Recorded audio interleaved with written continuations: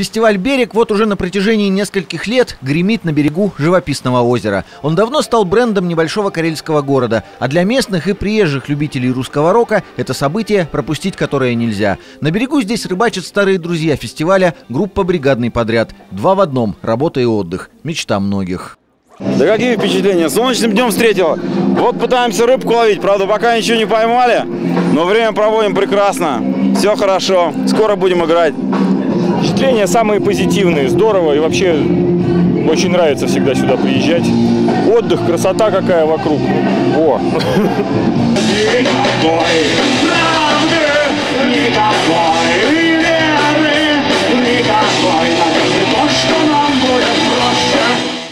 Фестиваль расположился на территории небольшой базы отдыха. Сцена на скале, народу не так много. Рекламы минимум. О предстоящем событии в районе и так знают, кто не из Карелии, в помощь в социальные сети. В интернете многие до последнего не верили, что вход бесплатный. Однако это было действительно так. Просто, по словам организаторов, и среди бизнесменов есть фанаты русского рока.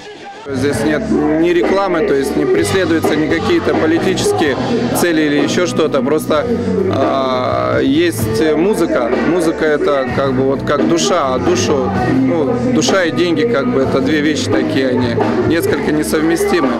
Где рок, там без потасовок никуда, и берег в этом отношении не стал исключением. Но фестиваль легко пережил даже небольшие стычки фанатов с полицией и охраной. Меломаны, получив в подарок бесплатный рок-фестиваль, шикарный отдых на берегу Ладоги, отплатили добром. Мы из Санкт-Петербурга приехали. Фестиваль отдых. Отдых для сына, для нас. У меня э, брат, одноклассник, он даже дочку назвал в честь Алисы. Алисы. Правильно, братуха? Да, Алиса. У меня дочка Алиса, дочка. потому что я Алису назвал. Около 10 команд, но народ, конечно, ждал Алису. Константин Кинчев со своей группой – самые именитые участники фестиваля за всю его историю.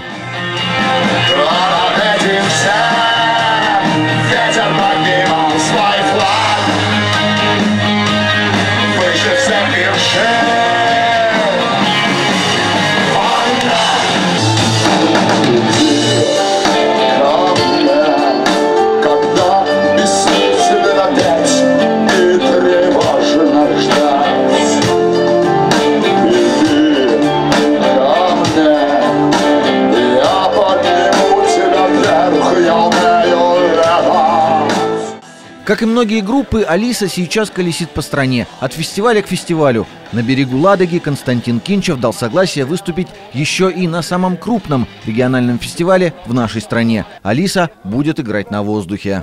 Я счастлив, что э, наконец э, так, так случилось. Э, люди, люди, которые ответственны и имеют отношение к жизни города, наконец повернулись лицом к очень важному событию, к фестивалю воздуха.